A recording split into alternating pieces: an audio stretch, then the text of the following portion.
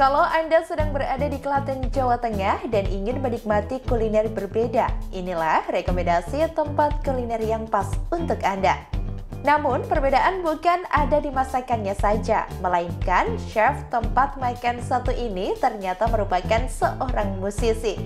Dia adalah Carlo Liberianto, yakni drummer band Cikustik yang memiliki sebuah kedai makan bernama Oyo Dodelis di kampung kuliner Klaten. Lokasinya berada di Jalan Kopral Sayom, Dukuh Jetak Kidul, Desa Karanganom, Klaten Utara, Klaten, Jawa Tengah. Sukses membuat menu rice bowl dengan beragam lauk seperti rendang, bistik, mackerel, hingga kulit crispy, racikan olahannya tak main-main. Pria berusia 44 tahun itu kini menawarkan menu baru, yakni olahan seafood seperti cumi, kerang, udang, hingga kaki kepiting. Meski menu olahan seafood dikenal dengan harga yang cukup merogoh kocek, di kedai makan milik drummer Cikustik ini gak bikin kantong bolong.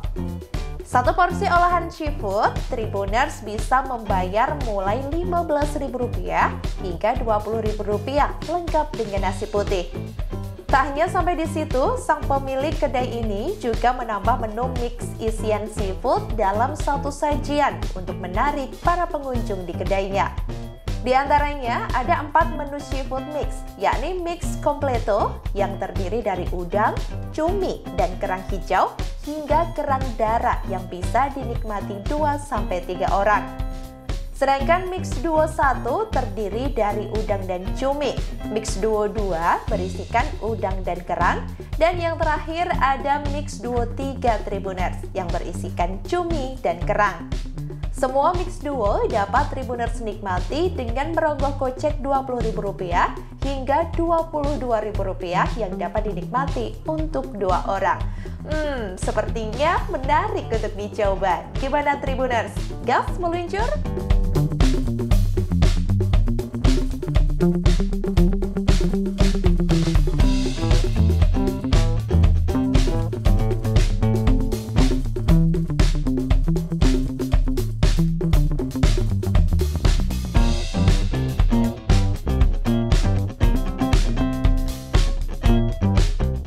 Terima kasih sudah nonton.